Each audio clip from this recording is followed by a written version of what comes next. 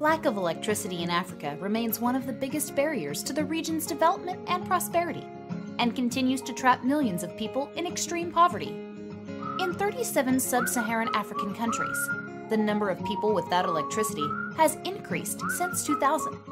Unless we actively take steps to address this, almost 645 million people in sub Saharan Africa will still not have electricity in 2030. That's nearly half of the projected population.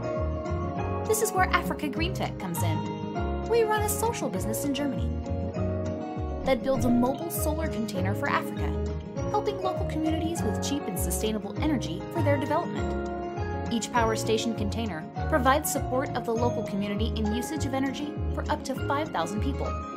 Free gift of 20 to 40 computers for the local school, high efficient LED bulbs for every household, which is connected to our grid. And here's how it works. The containers get financed through crowdfunding in Germany on several platforms, and the people in Africa pay back half the price of what they pay for the electricity they don't get over the period of eight years. The funds paid back are then distributed to the German crowdfunders. This is not a donation, but an investment we are sure you will hugely profit from. Let us make a better place for the Africa continent. Join the revolution today.